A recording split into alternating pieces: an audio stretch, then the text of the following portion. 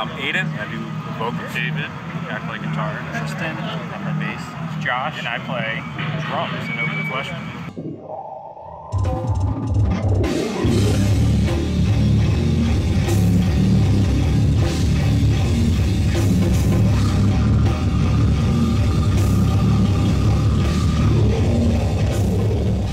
Why do you guys like death metal? Why did you choose to play that? I don't know. I just, I think for me at least, uh, I kind of just stem from like that like 90s, 90s like rock, like uh, Pearl Jam and Metallica, and then from then it just kind of just gets heavier and heavier as you as you get older, It's and a you just pipeline. yeah, it's just yeah, right, like a pipeline. it's just more groovy. You, know, you like the grooves in the beginning, and then it just slowly goes down, harder and harder. grooves. I mean, I listened to, well, which I, I when I was younger, I said I liked metal, and I didn't know the different like subgenres and shit. So I didn't know like deathcore. I didn't know what that was. So like, I just knew I was really into like Job for a Cowboy.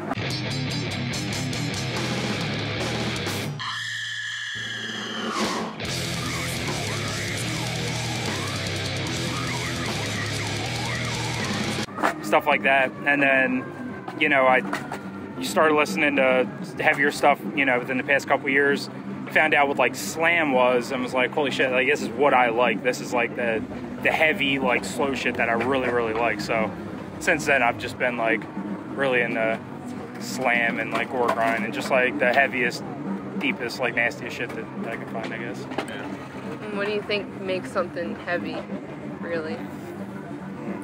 I don't know, because it doesn't have to be like technically proficient. It doesn't I have think the to less, sound I think the more simple a lot of times the heavier it can be. Yeah, yeah, it's- honestly. it's it depends vibe. about the feel. Yeah, Yeah, it's it's all about the feel. it's all about the vibe. Energy. Yeah, that's why I always say like slam is so much heavier than like a lot of other subgenres of metal because it doesn't try so hard to be clean and technical. It just doesn't give a shit. It just Exactly. is heavy and Yeah. yeah. you know ignorant. Me and Aiden have been uh, friends for a while since middle school, and uh, we were in a different band with a friend up in Philly that we have uh, for a while, years before. So we've been playing a lot longer together than with David and Josh. I, I originally wrote um, like esophagus fleshlight. This next song is called Esophagus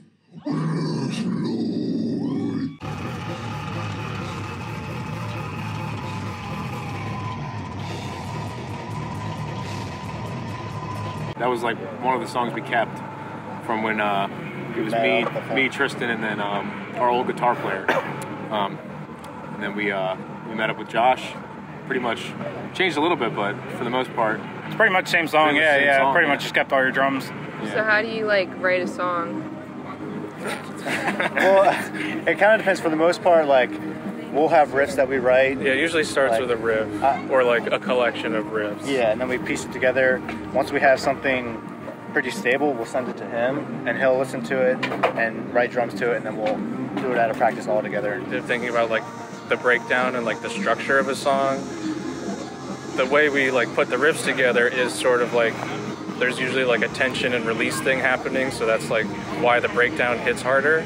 So that's sort of when we're like having to shift stuff around because like sometimes two riffs together will sound like kind of goofy. Slam is more just like badass riff after badass riff. Yeah. After, if it works, if it goes together, like anything can go. Yeah, yeah, and honestly, there's no like set structure. So like literally, like I I per- personally like writing kind of like where they'll do like a slow chuggy part. I like writing like a fast like gravity blast over that because I think that that is heavier with a slow. It's like good contrast. There's Yeah. like these two guys during your set where I really thought they were gonna beat the shit out of each other, but Yeah. then they didn't because they were throwing each other all the way across the room. Like that energy comes in where you wouldn't have that during a jam sesh. Like, Yeah. how do you Yeah. think that affects the like experience? I think it just depends on the scene. Depends on where you are. Because like for today is like a lot of families. It's like an all ages event. Not many people, but it's all about like you know the closeness of everybody. Like the scene itself. Like Philly's death metal scene is like really good. And there's a lot of people come out, and it's like a you know a close quarters environment. Just kind of opens that. Exactly. Like playing a house show is. I really liked that because it's it's more intimate. Everyone's right there, and you have the freedom to just go crazy like that. that shit was cool watching people like beat enjoyable the shit out of each other. Oh my god, yeah. up, yeah. yeah. So I would love to. Yeah, yeah. I would love to see some more of that. it's also cool like as a vocalist in like in a house show like that you're you're like free to do whatever like you can go out like like i was doing i went out and moshed i started pushing people around and that just that brings a lot more energy and If they know, bring the energy, vibe. we have more energy Yeah. too. Do you think that your music is like violent, or is that like? Do you think it's like angry, or is it not really based around anger, or, like violence? i guess it depends on who you ask I think but it for me is it's just it like like Eh, yeah like like it is and it isn't but like if you're like um like me I, i'm not really an angry person but i feel like definitely like you know like when you're younger and like the whole like stereotype with like angry kids with like slipknot and like limp Bizkit, like that was like the epitome of like angry kids. Yeah, kids I was like ang- the angry like angsty thing, and I feel like that's like a hardcore thing, and like Like a beat down. mu- yeah, like Yeah. musically they may may be similar, but the scenes are like looking for different things. Uh, so yeah, I feel like if a hardcore kid sees Open Flesh Wound, they're gonna fucking mosh and crowd shit. kill. Yeah, yeah. Which which is where it can get a little like it gets dicey. it get it gets dicey yeah, because like a hardcore kid shows up at a, a death metal slam show where nobody's crowd killing, but you know that's what they do. that's what they do. Yeah, yeah. So I mean, I don't know. And yeah, but I think that, that's more yeah, in, like the hardcore beatdown scene. But Like, as a- angry. yeah, yeah, more of like the angry. Yeah, because that's literally like they're getting it. They're there to get their anger out and like get that frustration out, and yeah you know. and i think the border between like the line there's like a fine line between like slam and hardcore like sound wise and you know energy wise because i mean if you if you look at our our philly house show it was it was like this close to being like a hardcore show. Like it really was. Like i mean yeah, like, with the the energy, we had and, Yeah, like, yeah, for sure. our sound and i felt like i as a vocalist was kind of bringing that like you know i felt like i felt like a hardcore vocalist i guess that makes sense. The thing with like that me and tristan always talk about with vocals and stuff uh, at least for this genre is that like you know you can like write whatever you want but a lot of time you're not going to understand it like i say some parts but then other times i'm just making throat It's, noises it's more or less going along Yeah. with like the rhythm of everything. yeah it's like- it's like another then- instrument What kind of inspires the aesthetic choices of like, you know, esophagus, fleshlight? like, um, you had like a corpse on the I CD. think generally like death metal is goes side to side with like that horror aspect. Yeah. Like, horror, Yeah. like you can compare it to horror movies. Like horror movies, you watch everything happen. Death metal, you're kind of listening to it in a different way. It's like another. It's like you're watching a horror movie, but you're listening to it. So you guys like horror movies? oh yeah Yeah. What's some of your favorites?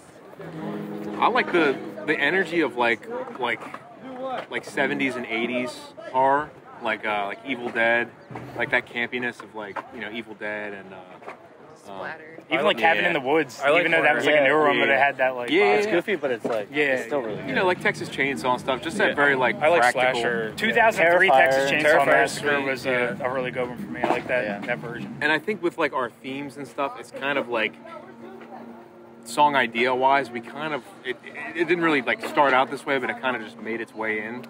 Um, it's just the idea of like using human body parts for like use, if that makes sense. Like body baggy, esophagus, fleshlight. Use them like functionally. Yes. stuff. Yeah. Yeah, it's like other objects Or or like Ed Gein. Yeah, exactly. Like Even the just yeah, like, like the flesh chair. Have you ever seen that? yeah, exactly. Yeah. skin Yeah. lamp. Yeah. Yeah. Yeah, and Yeah, it's like, esophagus fleshlight. do you ever think about when you die? Would you care if someone like used your corpse for something to like Oh. turn into something? Well, I'm an organ donor, so Yeah. Yeah, I'm an organ donor too. That's already on Honestly, I don't really give a shit. I would only be upset for my family's sake. Like if I had no family and nobody to like be upset that my corpse is being fucked with or whatever, I wouldn't care. That's or I Like- would care. Yeah. But if they, yeah, if nobody was there to be upset about it, Would you be a chair? do whatever. Yeah, I'd be a chair. That'd be cool. Yeah. I'd Or be like sure. a lamp may be better. Yeah, it'd be better than like being buried and being useless. Yeah, for yeah, real. true. You know? Be cool. You're giving Yeah. back to the earth. I mean, like people Yeah, like yeah. People get like cremated and get their ashes made into like a, a record. You know, Or It's like the movie How High, yeah, they, see? they smoked them. I thought it would. I thought it would be cool. Yeah, exactly. Or I thought it'd be cool to be about- like your a- your ashes put into like a sword. Yeah, Put I on, remember you put on like a about it. Mantelpiece and like your like your. It's very black metal of you, If you were like in a horror movie, what character, what characters do you think you guys would be? Like, Oh, I'd be. I'd for sure be like I wouldn't die first. I'd die like in the middle. Like I'd be kind of smart, but I'd for sure like fuck up and die in the middle. If that's a, a, a good answer. I think I would just try to hide. That's a good point. I, Yeah. I wouldn't pay attention to detail. I think and then Josh I would would be the murderer. I kept. He looks like a fucking serial killer with those glasses. When the, yeah, when you play drums. Oh, He looks like do he's I, about to look kill angry? somebody. Yeah. Very focused. Okay. Yeah, Yeah. that's good. Yeah, Josh. Yeah, is the you'd- killer. we'd, we'd be hiding from you. You'd be killing us. Be the practice There you space. go. I don't, know who I'd be. I mean, I'm only- I- I'd probably be like Tristan. I'd try to find a place to To hide. hide. but I would, I would, I would make enough noise to, to, keep, to draw the So killer you wouldn't Yeah. try to confront the killer. I feel like maybe I would be like, uh, try to distract him. yeah, Not like, one on one. yeah, like Home Alone. Yeah, like set traps, like Home Alone Yeah, style. yeah, yeah, Like really comedic traps, yeah. Yeah, right. Just run away. like tar and feather me. Something I noticed is that a lot of death metal bands are like anti-religion or like Christianity in particular. DSI. Shout out to you guys DSI. Shout out to Christianity. Um, I think it goes. I think it's kind of split in a way. Like, there's bands that are really like that's their theme, and then there's other bands that are like pure gore. Like, I don't care about religious stuff. I just I just want to write the most ridiculous, gory, stupid sounding names yeah. because it's just wild. I guess. Yeah, I guess I'm, Yeah. I'm more on the silly side of it. Um, where like I'm not, like I guess I'm not. I don't know. I don't know what I I was raised Catholic and Christian, whatever. I got into like zeitgeist and stuff when I was in high school, so I got out of religion. So I'm like, oh yeah, know, whatever. But now I'm more like into other crazy shit and you know multi-dimensional stuff and simulation theory and there's all kinds of crazy shit so i, I don't i religion's a very easy cop out i think there's something much more uh, confusing going on there The whole like the biggest satanic example. elements and stuff. I, I, I find that stuff cool and like just kind of like appealing. It's not really like uh like I think there's like with like slam and stuff. There's a fine line between being like cringe and then like you know not taking yourself super seriously. And that what I feel like with that is like if you if you take yourself too serious, it's like okay. It's just like It's like, just relax. Yeah. Do you think your families would be like, "Oh my God, you're the Antichrist," or like, or do they think they're cool with it? I think. It, I mean, my parents are cool. If they came to the last show, they. I think it. like when I was younger, maybe, and I don't know, just, but no, I mean like they like it. They they were here today, and they were like, "That's that's super cool. That's Everything's cool. fun." Yeah. Actually, I think I saw someone's dad at the last show. my dad was there. Yeah, it was.